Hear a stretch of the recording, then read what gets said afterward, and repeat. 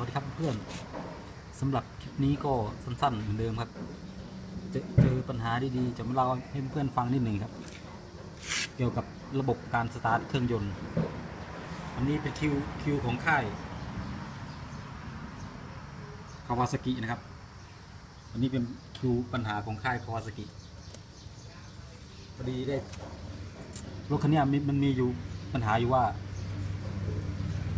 เวลาเราสตาร์ทเครื่องอะ เวลาเราสตาร์ทเครื่องครับ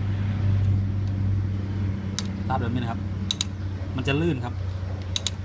มันจะลื่นสตาร์ทแล้วมันจะลื่นสตาร์ทแล้วมันจะลื่น เหมือนคล้ายๆ เรากำกำคลัตช์สตาร์ทนะครับเนี่ยพอมันลื่นมันจึงมันจึงเกิดปัญหาที่ว่ารถสตาร์ทไม่ได้ครับสตาร์ทไม่ติดนะครับ ให้เพื่อนๆนึกภาพรถที่เป็นรถคลัตช์ดมือนะครับ เวลากำคลัตช์สตาร์ทมันจะออกลักษณะนั้นแหละครับ ซึ่งมันเป็นปัญหาเป็นปัญหา ที่พบบ่อยมากเลยครับ กับรถคาวาซากิคาเซ่ที่ผ่านการใช้งานไปนานๆนะครับ เหมือนเหมือนมันจะเป็นปัญหาเฉพาะ เฉพาะรุ่นเลยนะครับแต่เนี้ยต้องขอเล่านิดนึงครับ รถรุ่นเนี้ยมันมันมันเป็นรถคลัตช์อัตโนมัตินะครับ ซึ่งมันมันจะมีคลัตช์อยู่สองชุดนะครับ อันนี้คือชุดชุดชุดแรก อันนี้ชุดที่สองครับ ซึ่งถ้าเราเจอเจอปัญหาลักษณะแบบนี้จะต้องวิเคราะห์ปัญหา ให้แม่นนะครับเพื่อน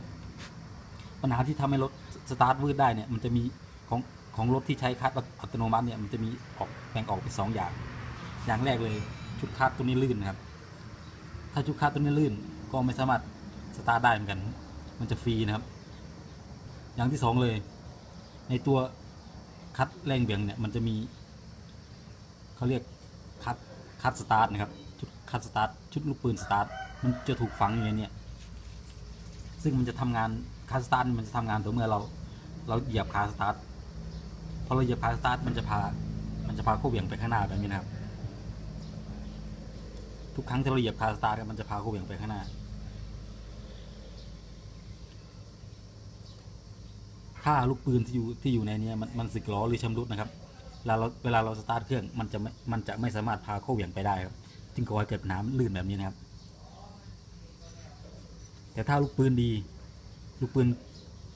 ลูกปืนคลัตช์สตาร์ทดี